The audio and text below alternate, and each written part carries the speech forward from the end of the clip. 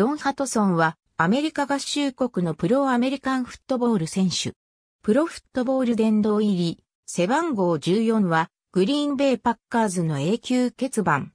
1913年1月31日、アーカンソー州、パインブラフ州まで。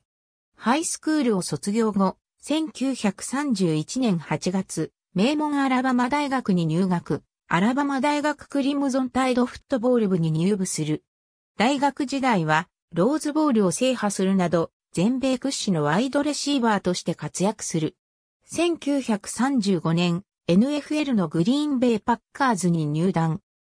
1935年から1945年の11シーズンのキャリアで1941年から1945年シーズンまでの5年連続を含め8シーズンでレシーブ数トップとなった。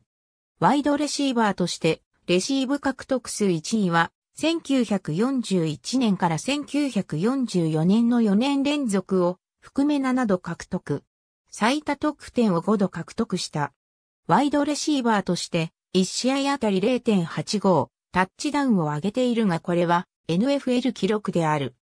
NFL 早々期、ランプレーが主流であった時期に数々の NFL 記録を残したワイドレシーバーの先駆者であり、NFL 史上最高の WR として名が挙げられることもある。第22回スーパーボールではコイントスを務めた。通算 99TD レシーブはジェリー・ライスに破られるまで長い間 NFL 記録であった。ありがとうございます。